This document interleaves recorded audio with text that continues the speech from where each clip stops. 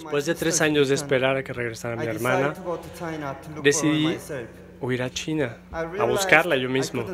Me di a sobrevivir mucho tiempo más. Sabía que el viaje sería peligroso, pero de todas maneras estaba arriesgando mi vida.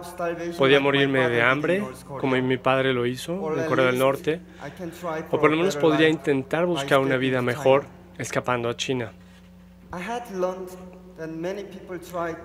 Yo sabía que mucha gente trataba de cruzar el río por la noche para evitar que los vieran.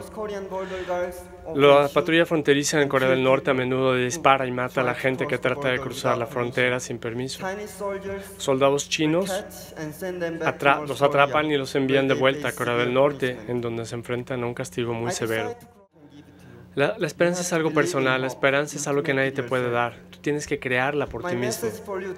Mi mensaje para ustedes hoy es, no traten de encontrar la esperanza, traten de crear su propia esperanza.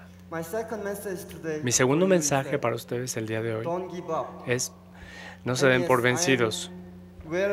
Sí, estoy muy consciente de que la vida puede ser dura independientemente de donde vivamos, ya sea que vivamos en Corea del Norte o en Estados Unidos o en México. Entonces no puedo nada más simplemente decirles no se den por vencidos. He tenido que ceder a muchas cosas, a renunciar a muchas cosas para sobrevivir, pero no renuncien a su vida.